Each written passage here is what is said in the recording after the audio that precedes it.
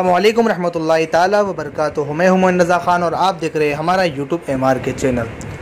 Eid کا انمول تحفہ رسول اکرم صلی اللہ علیہ وسلم نے ارشاد فرمایا، جس شخص نے عید کے دن تین سو مرتبہ سبحان اللہ و بحمدہ پڑھا اور اس کا ثواب سب مسلمانوں کو اس نے بخش دیا، تو ان میں سے ہر ایک کی قبر میں ایک ہزار نور داخل ہوں گے اور وہ آدمی جس وقت وفات پائے گا، اس کی قبر کے اندر بھی ایک ہزار نور اللہ تعالیٰ داخل فرمائے گا۔